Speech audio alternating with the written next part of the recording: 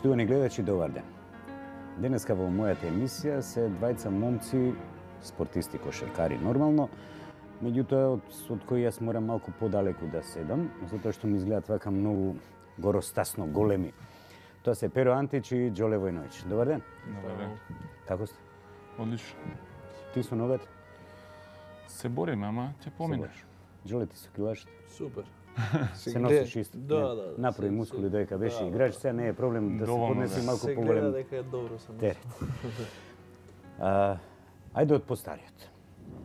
Джоле, колку време не играш? Па од 2005-та, 2004-та. На колку години? 34. На 34 прекина. Да, Значи Врбица е малку постар од тебе и се уште игра за да. кошарка. Ствари он сега поточно прекина, меѓутоа ќе игра за репрезентација. Од колку години почна со кошарка? Па, И каде почна? Како почна? Кошарка сосема случајно почнав, значи почнав да кажам по едно подолго тренирање на пливање, малку фудбал, а кошарка беше повеќе од, да кажам, од некои здравствени причини, да ми се подобри моториката и едноставно наставникот по физичко, Контраденко, кој ми предаваше во во Лазо Трповски, едноставно рече ај ќе те пуштиме значи во согласно со со мајка ми со родителите да малку да научиш да трчаш. Имам еден а, познаник во работнички, чисто беше, значи не беше кошарката доминантно, него беше да се на, да се направи една моторика. Отидов во работнички, се пријавив, значи сите беа веќе 3-4 години една извонредна генерација која подосна беше и второ место во Југославија, тогаш беше Пеце Нумовски, веќе то таму Шишковски, доста играчи од страна и чисто беше со топката од страна, повеќе гледајќи ги нив и нешто колку да се научи да трча и после два месеца беше, да кажеме, објавено дека ќе се прима нови нова школа на работнички, нова генерација. Отидов се пријавив. Првата селекција не поминав.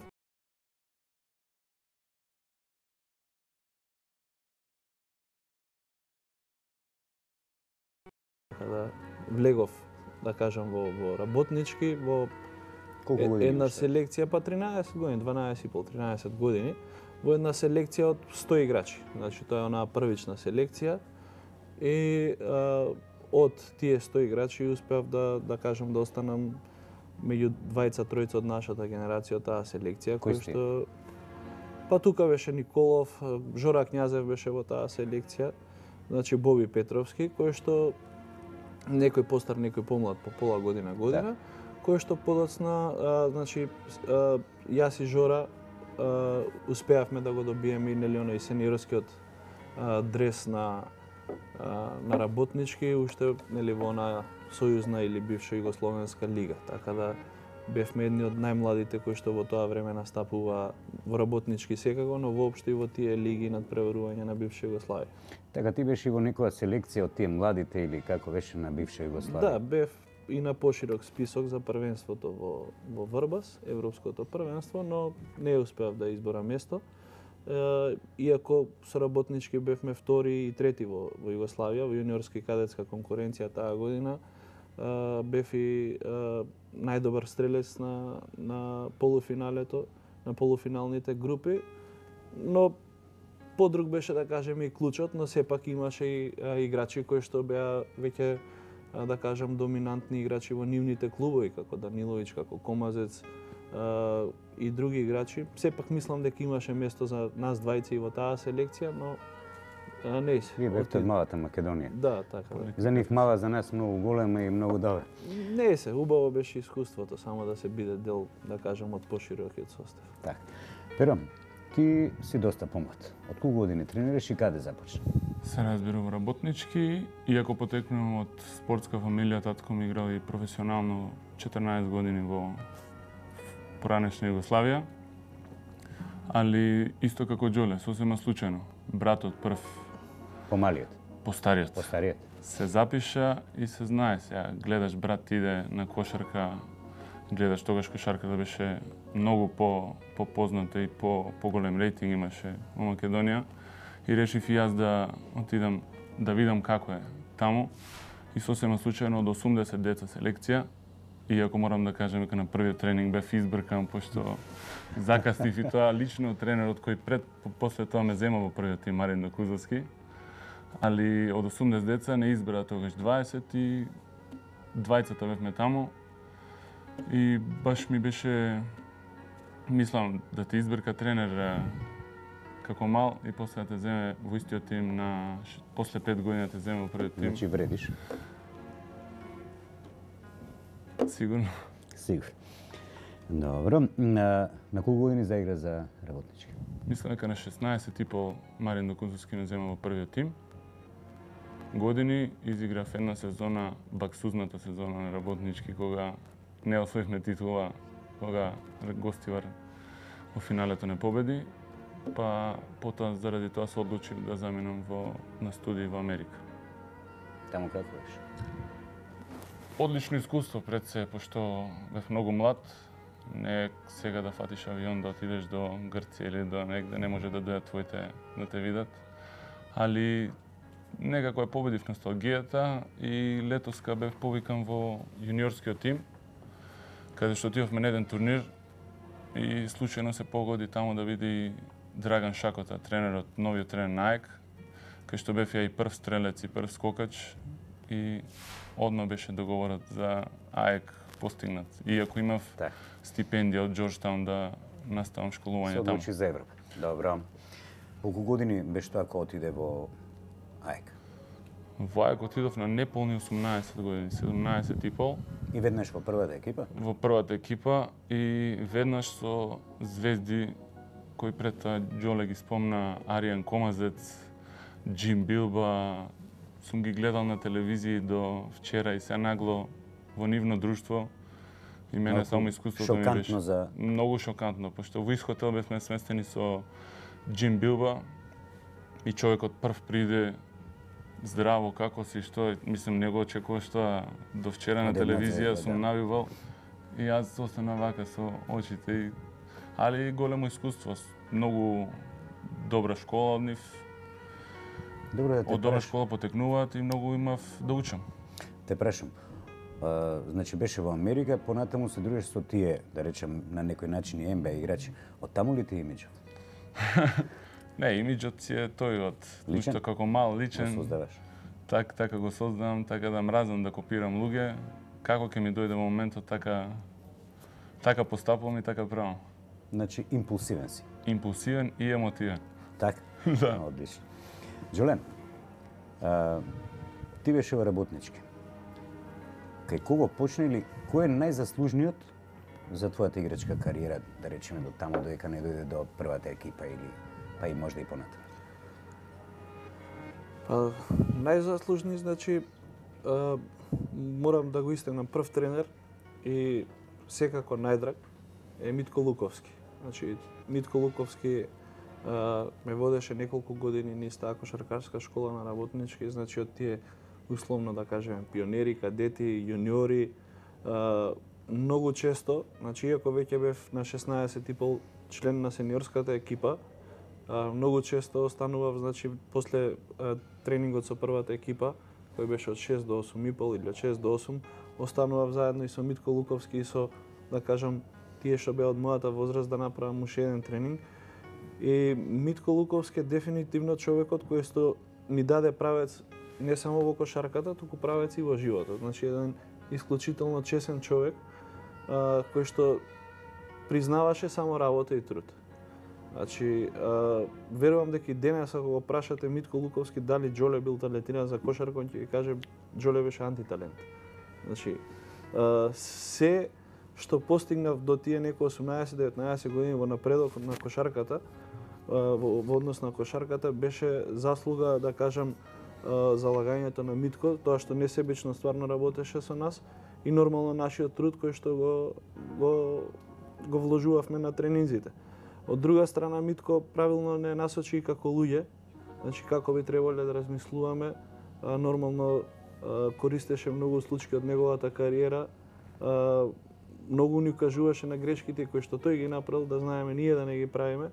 И мене ми е на вистина како да кажам, криво, а воедно и нека биде апел, затоа што Митко Луковски е, е кошаркарски тренер кој што остварил најдобар резултат со една селекција на Македонија. Значи бил четврти на кадетското првенство во Португалија. но Митко Луковски, иако многу допринел и за кошарката во Македонија, а посебно за стварање на млади играчи, е малку заборавен, да кажеме, во сите овие признанија што се делеа и човекот е буквално заслужува да ја има спортската пензија за за, за Република Македонија, за неговите Добре, за таа спортска пензија има некои категоризации. Јас не знам дали четврто место се наградува или не. Тоа и се видат во агенцијата и во сојузите. Да. Едно време, негдека ти преска спомна пред малку 18-19 години, ја мислам дека тоаш имаше некоја понуда од надвор за тебе. И нешто се случи, ти не отиде. Да, па и не, имав ја малку подоцна беше е, понудата, значи околу на 22 години Значи, кога веќе Македонија, да кажам, се, осамо, се стана независна земја, две сезони одигравме локална кошарка, настапивме после тоа во Европа и после тие настапи во во Европската лига. Значи, дојде понудата од од Турк Телеком, екипа која што посебно во тој период беше многу стабилна и многу силна екипа и единствената екипа која што успеа да ги симне од тронот екипите од Истанбул, екипата од Анкара. А, конкретно беше се договорено. А, отидов во, во Анкара. А, помеѓу двата клуба све беше договорено, значи се договори обештетувањето и наопшто, да кажам, изненадување и разочарување стигна допис дека а, работнички го блокира мојот трансфер. И за жал до ден денес никој не ми објасни зошто тој трансфер е блокиран. Mm -hmm Но не се, тоа е животот, шансата отиде, подоцна, значи, не дојде некоја конкрет, мислам не дојде, дојде да понуди, но не ни една која што доволно би ме привлекла за да напуштам Македонија, да напуштам работнички или МЗТ. Значи ли екстра добро или Македонија? Па, па у секој случај да, секој имаше добри моменти во Македонија во кошарката, секако во делот на на договори Имаше доста европски утакмици, имаше полна сала и едноставно убаво се чувствував во Македонија. А, доста често сум патувал во странство и со кошарката и таму во Анкара. А, Перо може би најубаво тоа ќе го каже, пошто е од 18 години, едно е во странство, друго е дом. И треба и многу а, храброст и многу среќа, значи кога си во странство, затоа што а, сепак си единка, си сам. Така да немаше нешто подобро што звучеше многу од Македонија за да се одлучам да отидам. Одлично. Перам, како беше да се бориш со сите тие звезди таму во Грција за да обезбедиш место, првата петорка? Имаш ли проблеми? Проблеми нема, пошто во првата година, мислам, другачие таму во Европа. Се знае кои се играчите кои се донесени да играат во првата петорка, а кои се донесени играчите да учат. И таков е системот, помладите дучат од најдобрите од првата петорка, од шестиот играч, седмиот, пошто во големи тимови нема прва петорка. Так. Некогаш се почнува со послабите, Според само тимски се гледа. На за, да, на тренерот. Така да, за мене беше првите две години, првата година посебно, од на огромна школа, која мислам дека нема поминато до тогаш и во Македонија и прв пат ван Македонија да отидам негде посебно во кај нашиот сосед. А, супер бев прифатен, учев и се погоди така да следната сезона се повреди Димос Дикудис, играчот што игра исто како мене на позиција тешко крило. И тренер Чакота ми се довери цел пола сезона да играм во стартната петорка. Што ја искористив? Што ја искористив максимално и добив многу на сигурност и као искуство во, во својата игра. Така да тој период за мене беше како преоден да да преидам во поголемо ниво, да понапредно. Колку време се задржа таму? Многу добри 4 години. 4 години. После да. тие 4 години? Преминав после тие 4 години во Белградска Црвена звезда. Дали из... прости, Дали освои таму некоја шампионска титула? Во АЕК една шампионска титула. Една шампион. После 32 години, првата година. После 32 години значи, освоивме титула. Еден македонец таму Еден стои. македонец стои. После 32 години и еден единствен пат да се погоди да имавме и домашен терен, терен преднос Изгубивме две утакмици, се играше во три добиени и на крај добивме 3-2. И тоа беше исто една посебна случка што ќе ми остане во сеќавање, еден посебен натпревар. После тоа замина во Во Белград. Во Црвена звезда заминав има понуда и од да, дистанца од дома и посигурна, да кажам. Заминав во Белград иако имав понуда од Киндер Болонја тогаш од кај што е нашиот стручњак беше Заре Марковски, нашиот тренер. Али Звезда избрав прво од детски причини, пошто одуше од Малбев навивач за Црвена звезда, горен противник со мајка ми кој е партизановец. Едноставно сакав да ја осетам таа атмосфера што се случува таму на трибини и све и не сум доđенал ни еден пост. Но тоа таму беше една, еден пократок период. Две години, Така. од кои првата беше несреќна, се погоди да се повредам на првата утакмица за Звезда на пријателска и тоа токму против АЕК. Се играше во Солун, се повредив, али со добра подршка од тимот, стручниот штаб се вратив и изиграв супер две сезони. Сега нема да зборуваме за таму. Таму освоили нешто. Таму освои само првата година Куп ради во Корач, Жучко, познат. Жучу. После тоа замина за Бугарија За Бугарија и таму мина малку пократок период. една година најдобра во мојата кариера.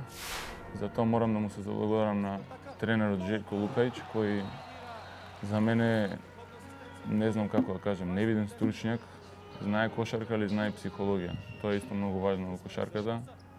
Ме праша дали, дали, дали можам да бидам лидер на тимот. И ја почнав од околу да зборам, он каже, многу збориш, дали можеш да бидеш лидер на тимот? Сигурно е кога ја кажав да, и он каже сакам да видам.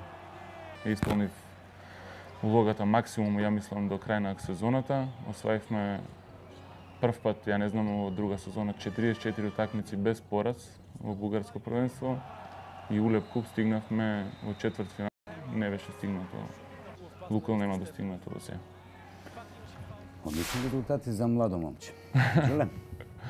Твојата кариера целата се одвиваше овде во Македонија, како што кажам, и тоа во два клуба. Да. Колку години беше во едниот и до кога? Па не знам се, од 98 нааму, е, мислам од 98 предов во МЗТ. Значи тоа беше, да кажам, еден од оние е, трансфери кои што во истата Меѓу година... не- лутите ривали. Да, Така? во истата Освета. година, да, истата година нели преда Врбица и и, и Симич во во работнички. Зошто во два клуба? Па за мене работнички и МЗТ се синоним на македонската кошарка. Значи не е дека не можев да играм во друг клуб во Македонија. Повеќе од јасно е дека можев. Но мислам дека а, немам навика, а, немав навика да многу менувам клубови. Едноставно а, се договорав да кажам од моја страна многу полесно со со клубовите и секогаш максимално професионално сакав да си ги извршувам обврските. А, јас моите и оние нивните. И Ти замина од работнички капитен, така? И како капитен дојде. Да, да, заминав МЗТ? како капитен, да, дојдов како како капитен во во МЗТ. А, имаше, да кажам, доста размислувања сега како овде работнички лути ривали импонираше тоа што а, на пример публиката веќе на финалето веќе знаеа затоа што им беше најавено од тренерот дека се да кажам работнички повеќе или помалку се откажува од мене. А, City Park Boys нонстоп го скандираа моето име, а јавев на клупата. Да, една од одликите твои Да. покрај ќе кажеме тоа, значи куцањето со од залет со една рака и така натаму е и беше миленик на е, навијачите на двата клуба. Да, па а, како да како да ти кажам за те со а, навивачите се основата на еден клуб. Разбираш, и може би таа атмосфера во салите беше пресудна да јас не заминам од Скопје воопшто. Значи, едноставно кога, вла, кога влегуваш на теренот, ја осеќаш таа атмосфера, без разлика дали биле City Park Boys и си играл за работнички или контра навиваат, Значи тоа е една атмосфера која што мене ме влечела и ме понесувала на утакмиците. Значи апсолутно тука забораваш дали дали е Какав договор било Не, не, што? ништо не, е- не, не е битно во тие моменти. Зошто? Затоа што Еве што се случува денеска. Денеска да отидеш у сала да играш кошерки, играш пред празна сала. И викаш у себе и налет и играње и све. Значи, тоа е едно што а, ме влечело. Сите други, мислам дека сум направил исправен потек, затоа што сите други екипи во времето кога играв јас повеќе или помалку имало екипи кои што нуделе далеку повеќе пари, но згаснувале После една или после две една или А две. некојаш и после полусезон. Да. Да, и, но, сепак а, ти, овие две екипи, без разлика во кое место на табелата си и во каква финансиска ситуација се едната или другата, сепак се синоним за македонската кошарка, како што е да кажеме а, Партизан и Звезда. Еве, Перо нека каже дали би било исто да игра за Звезда или за Хемофарм кој што е финансиски подобар или Јас само знам. прво сакам да кажам дека жалам што не сум играл од тие години кога кошарката беше кога се одеше во сала два сата пред утакмица. Знаме, јас сум бил и јуниор, сум чекал по два сата за да влезам за да го гледам Џоле, Николче, Срки, да не ги набројам многу се. И сум имал од кој да со гледање да учам, иако со некој не сум бил ни во контакт, ни, ни, ни ништо. Добро, меѓутоа сега можеш да признаеш дека исто играш во една таква ситуација само во Борис Трековски за репрезентација, да, кај што чекаме али по два само да сата. кажам дека чувството да играш дома и да играш надвор не е исто. Мислам, јас така размислувам. Колку год да играм надвор, колку год сега кажувам и договори големи да взимаш и све. Цело време те влече нешто да се вратиш дома. И ја го дадов око пример поради тоа што сега млади играчи што од мали школи доаѓаат да одат на, наш, на нашите утакмици сега. Немаат играчи како како Џоли, како Така, многу од нив многу од други. таа тие сезони. Така што ќе знаат да ги забават, да, Да. ги наведат да Сите они гледаат почнат да Европа. со тој спорт. А јас како почнував со кошарка воопшто не гледав нити Европа, нити ништо. Европа беше кај Дома, нас. кај нас.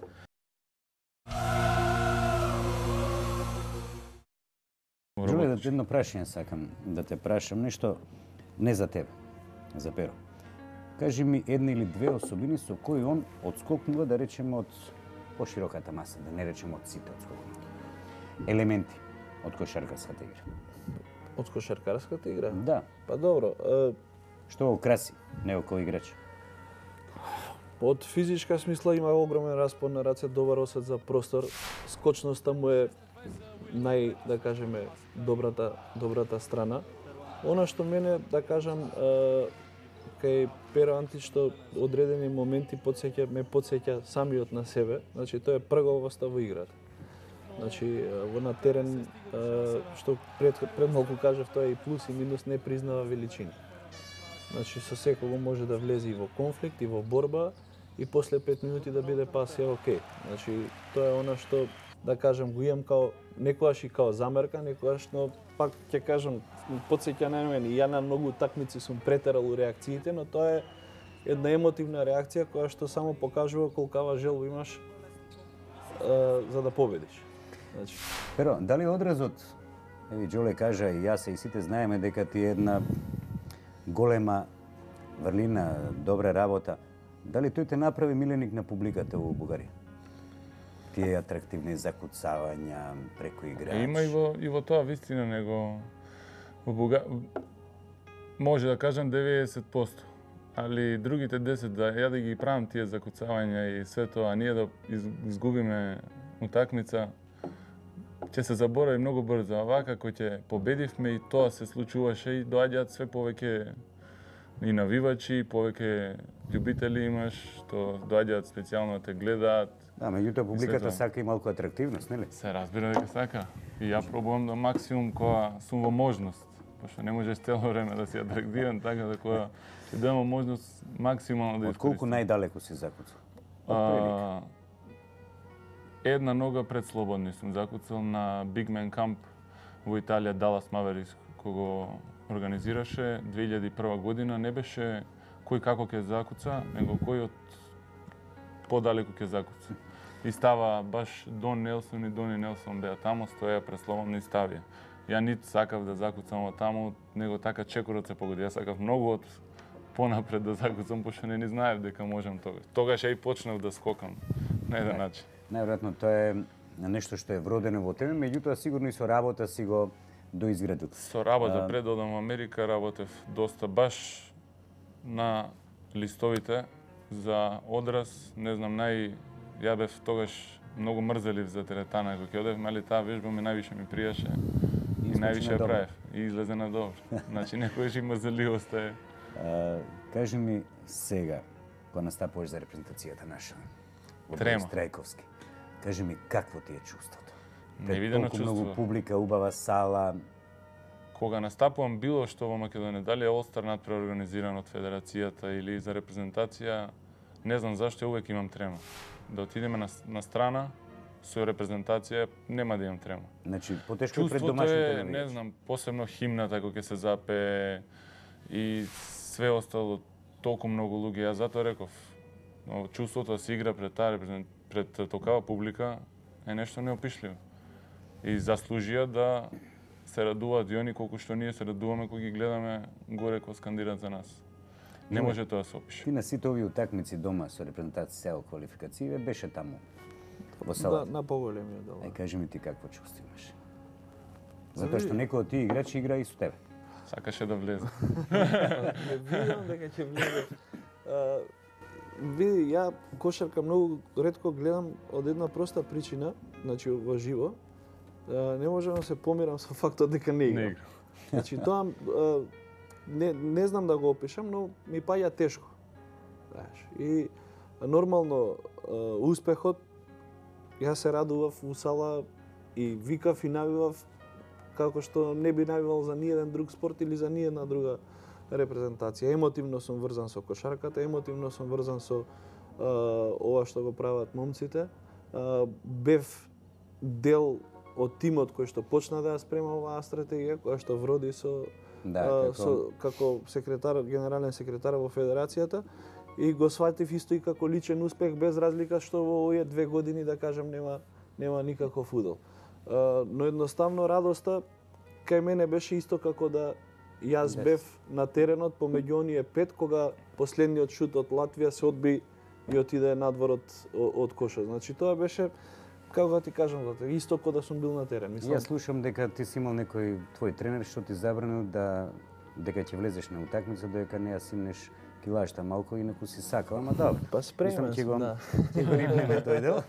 Спремен сум.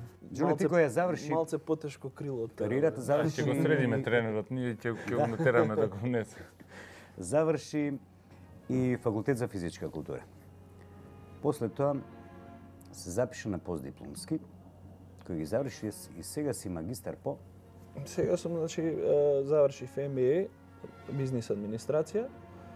Факултетот за физичка култура го завршив, да кажам, во еден максимално долг рок. Тоа пред се се должеше на кошарката, со добар просек, но поради обврските со кошарката... Добро, тоа е разбирливо, Да, нели? тоа нормално имаше големо разбирање на самиот факултет.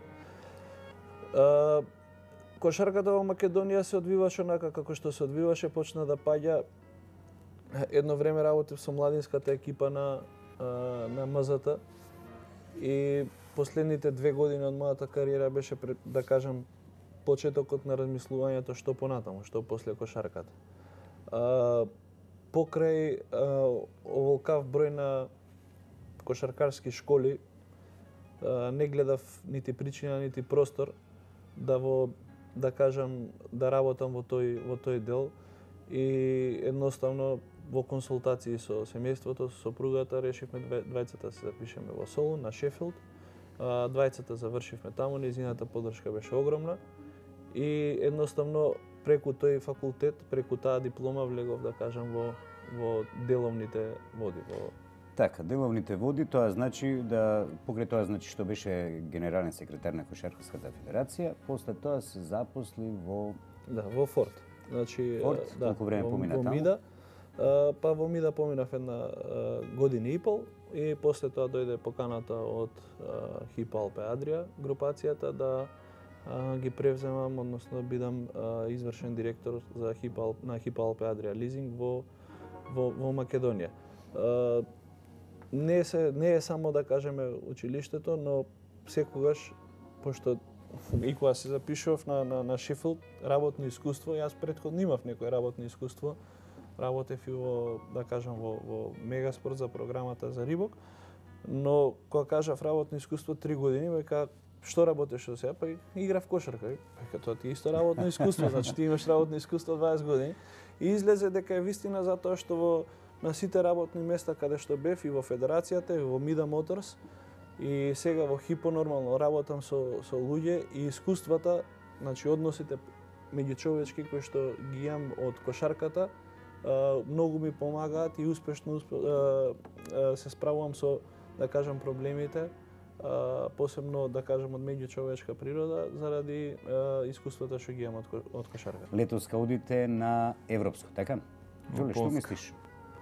Какви се шансите на нашата репрезентација? Па извонредни. Ја Аутсайдери. Тоа е најдоброто нешто. Така, Па- па, све друго да биде ќар. Да. Па добро, јас не мислам може би како да кажеме после 10 години повторно, после точно 10 години Така. повторно појавување на на европска сцена, може би да не смета да не смета некој за аутсайдери, но според квалитетот кој што оваа екипа, овие момци го имаат, далеку е, далеку е Македонија од аутсайдер. Сепак, Европското е процес кој што трае 10 дена, но секој секој ден е трае само 40 минути. И тие 40 минути и најдобрата екипа во свет може да потврли и најлошата екипа во свет може да изненади. Значи, така да а, секоја утакмица, она што е битно да сите играчи знаат дека секоја утакмица е утакмица за себе. Имаше овде и на ракометот, изгубивме 24 од Русија или 22, последниот ден победивме. Така, Важно да, секоја утакмица е приказка за себе, а најбитно е што играчите со овој пласман и со тоа јас ќе кажам еден од најдобрите резултати на селекциите, затоа што завршивме како трета рангирана селекција во квалификациите од сите тие светски велесили. не? Звучни имена. Франција, Значи, Италија. ние завршивме далеку понапред на нив и затоа не гледам дека Македонија е аутсайдер. А, дека има лесна група, нели имаше, можеше овие, можеше оние. Напротив, нема лесна, сите се добри. Сите се Да. Сите се добри таму и мислам дека само со една смиреност, една компактност, нормално федерацијата тука мора да обезбеди максимални услови за подготовки затоа што ова е шанса која што ни дојде после 10 години ни се пружа, не дека можеби нема да биде во иднина, но мораме да ја искористиме првата што ни се пружа. Така да мислам и верувам дека репрезентацијата јас ќе бидам таму во, во, во Полска.